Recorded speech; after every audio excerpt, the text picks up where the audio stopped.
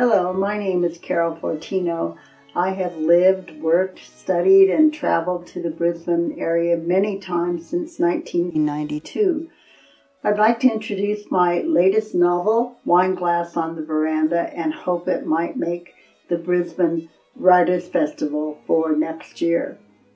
The book is uh, a, a small novelette, some people call it, about a young man who was uh, separated from his mother when he was quite young due to an accident.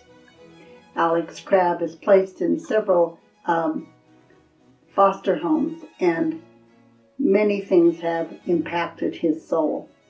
The story is also about a young girl who gets caught up in internet uh, trolling and what happens to her on a small island off of the Brisbane area.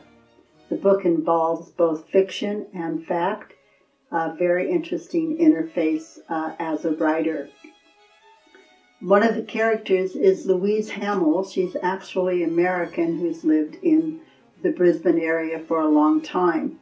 And she took a photograph called The Wine Glass on the Veranda.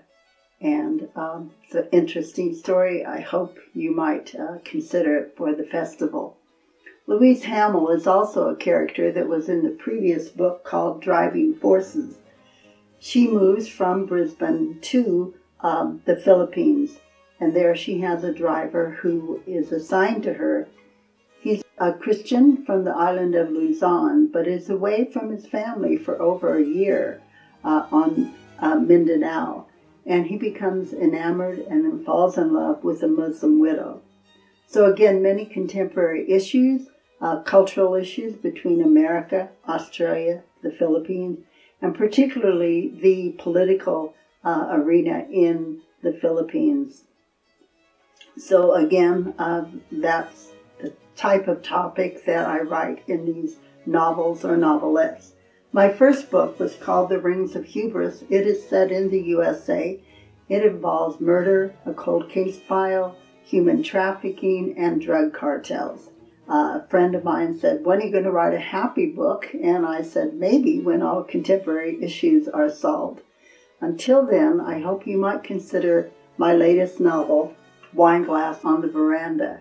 And I would be happy to come back to Brisbane and do a seminar. Thank you very much.